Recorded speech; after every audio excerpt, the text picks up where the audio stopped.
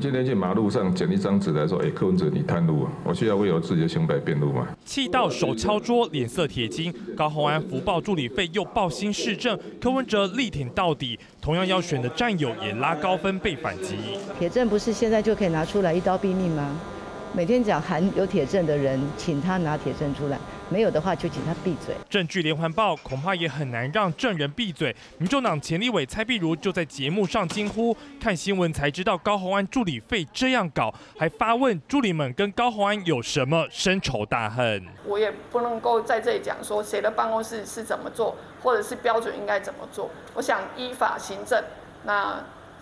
这样子就不会有什么问题。是否依法行政将是高鸿安案子的症结。昔日最少是他的前老板郭台铭用脸书表态说，新竹需要跳出传统框架的人，而谁最合适，得靠新竹市民的大智慧。只是整段文字就是没讲明支持高鸿安。郭董这边的话，我一定会跟他来做澄清说明，因为毕竟每一个人看到这种就是误导的报道，或者是看图说故事的报道，可能多多少少都会有一些。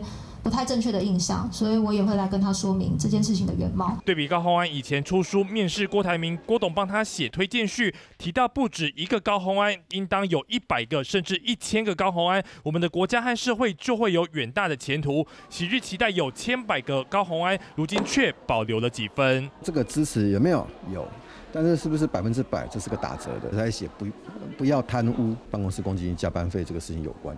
这个事情太难看了。未来高鸿安的官司难料，加上有林基金会也卷入争议。作为二零二四总统热门人选之一，郭台铭发文保持距离，以测安全。三立新闻许谦、尤日博 S N 小组台报道。